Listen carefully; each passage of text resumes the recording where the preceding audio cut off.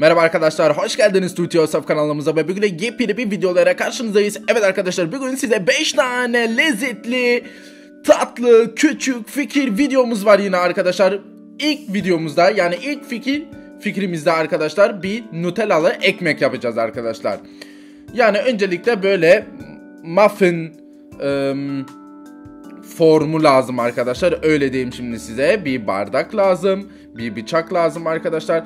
Tabii ki de böyle ekmek hamuru lazım. Ve tabii ki de Nutella lazım arkadaşlar. Öncelikle hamurumuzu alıyoruz.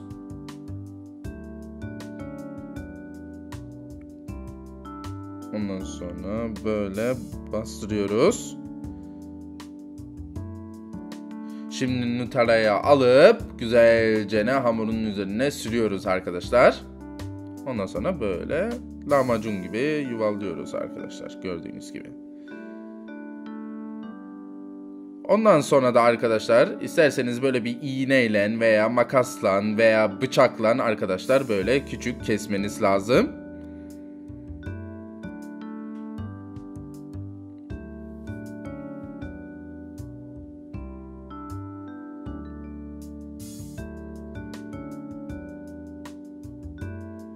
Şimdi muffin formunu alıyoruz. Ondan sonra onu da içine koyuyoruz arkadaşlar.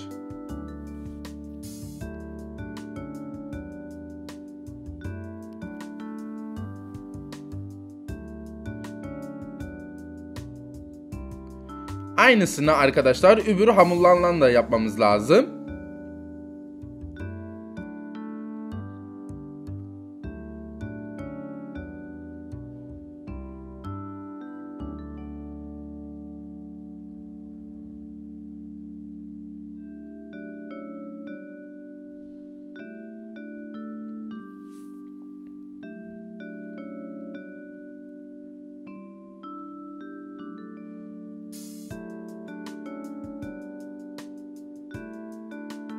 Evet arkadaşlar şimdi de altısını da fırının içine koymamız lazım arkadaşlar. Yaklaşık 180 derecede pişirin arkadaşlar.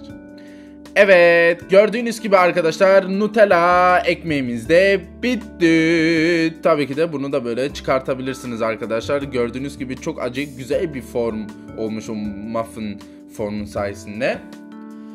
Evet arkadaşlar şimdi de ikinci fikrimize geliyoruz ve gördüğünüz gibi Nutellalı waffle yapacağız arkadaşlar. Dediğim gibi bugün çok lezzetli fikirlerimiz var sizin için arkadaşlar. O yüzden de çoğu da hep Nutella'lı olması lazım. Tabii ki de marshmallow lazım. Kürdan lazım arkadaşlar. Nutella ve waffle lazım. Makasımızı alıyoruz. 4 tane böyle kare kesmemiz lazım arkadaşlar o bir tane waffle'den.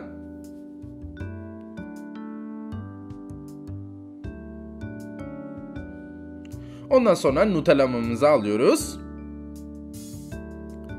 Her bir karenin üzerine Nutella'dan birazcık sürüyorsunuz arkadaşlar.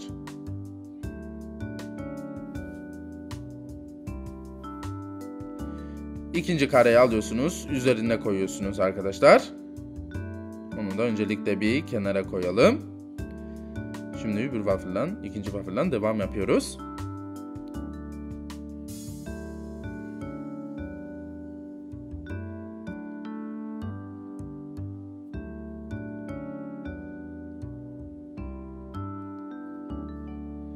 Şimdi de bir tane kürdan içine koyuyorsunuz. Üzerine de bir marshmallow arkadaşlar.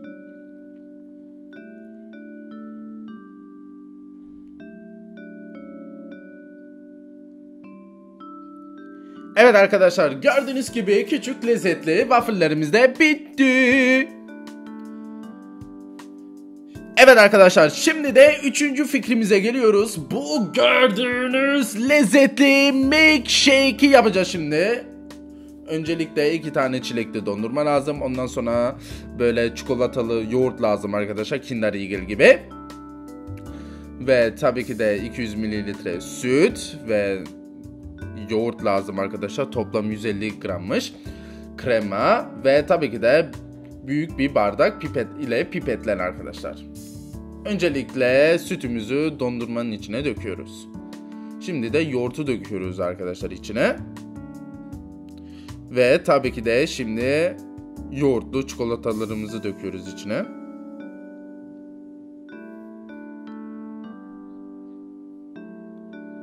Şimdi güzelce de karıştırmanız lazım arkadaşlar.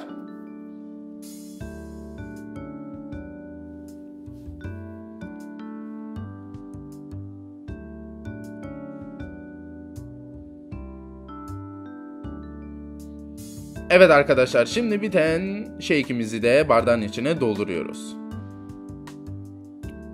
Ve tabii ki de birazcık kremi de döküyoruz. Ve birkaç tane rigel de koyuyoruz içine arkadaşlar. Ve gördüğünüz gibi shake'imiz de hızlı bir şekilde de bitmişti. Şimdi de arkadaşlar dördüncü fikrimize geliyoruz. Gördüğünüz gibi tatlı, lezzetli meyve çubuğu yapacağız arkadaşlar. Gayet basit. Yani bu iki tane meyve almanız lazım. İsterseniz tabii ki de başka meyveler de kullanabilirsiniz. Muz mey muz olsun, çilek olsun. Tabii ki dediğim gibi istediğiniz meyveyi kullanabilirsiniz. Bu kalem de arkadaşlar meyvenin yüzünü boyayacağız. Tabii ki o kalemleri o gıda madde kalemi arkadaşlar. Yani onu da yiyebilirsiniz. Yani normal kalem falan almayın arkadaşlar. Şimdi de meyveleri alıp çubuğun içine böyle sokuyorsunuz.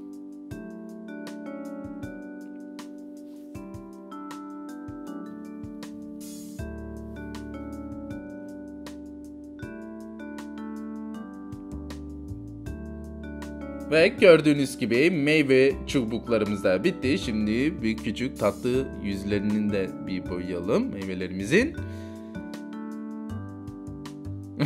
Gördüğünüz gibi meyve çubuğumuz da bitti.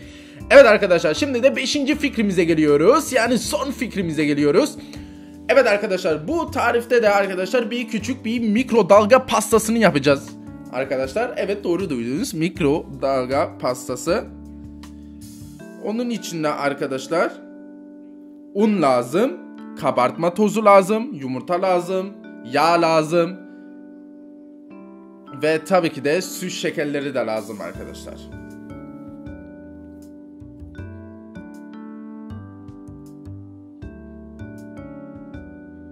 Ve kaşık ve çatalımız da hazır.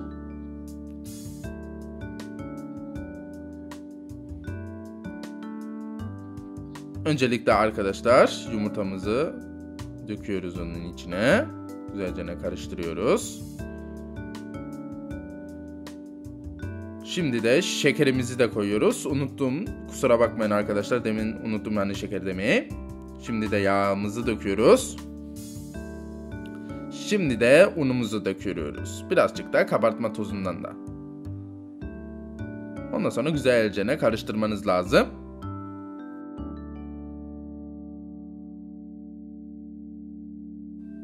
Evet arkadaşlar karıştırdıktan sonra süt şekerlerinden de koyuyoruz biraz içine hamurumuzun içine. Tabii ki de şimdi de mikrodalgaya koyuyoruz. Yaklaşık 90 saniye arkadaşlar. Evet 90 saniye gördüğünüz gibi pastamızı da çıkarttık. Gerçekten de çok lezzetli gözüküyor. İsterseniz tabii ki de böyle krema da dökebilirsiniz şimdi üzerine. Birazcık daha güzel gözüksün diye. İsterseniz tabii ki de meyve falan da koyabilirsiniz içine.